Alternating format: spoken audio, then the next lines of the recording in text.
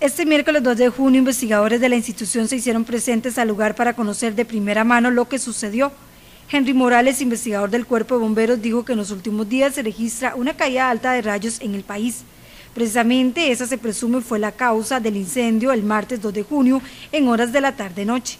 Los bomberos en Pérez de León recibieron la alerta a las cinco y media de la tarde, donde les informaban que se observaba fuego en la estructura ubicada sobre la piedra en San Rafael Norte.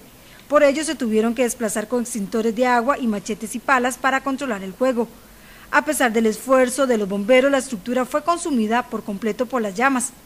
Morales indicó que tomaron fotos y pruebas en el sitio, las cuales serán analizadas, por lo que no pueden anticipar los resultados de la investigación. No quiero anticipar nada al trabajo de investigación, pero sin embargo eh, pueda ser eh, que en ese momento la intensidad de la rayería en esta zona haya sido única, tal vez una excepción durante todos esos años de que usted habla y eh, esta vez le tocó a la imagen.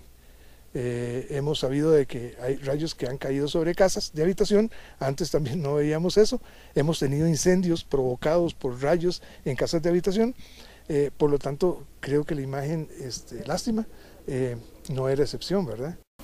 Asimismo, indicó que posteriormente la Dirección de Bomberos dará a conocer un informe de lo que resulte de esta investigación. Mire, la Dirección de, Bomberos nos envía a nosotros a, valorar la estructura, a documentar este, todo eh, y detallar lo, que quedó de ella.